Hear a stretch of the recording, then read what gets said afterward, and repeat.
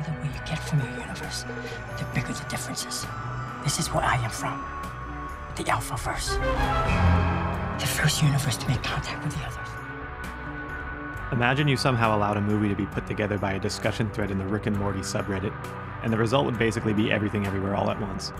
The plot is merely a structure in which to string together adolescent gags, absurd internet jokes, masturbatory and half baked high school philosophy, and references to the most regressive and mediocre slices of popular culture.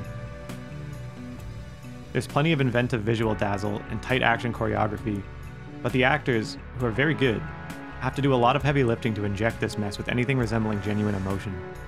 In between MCU levels of exposition dumps and disorienting rapid fires of technical gimmicks, the movie tries throughout to return to an underlying stratum of intimate family drama.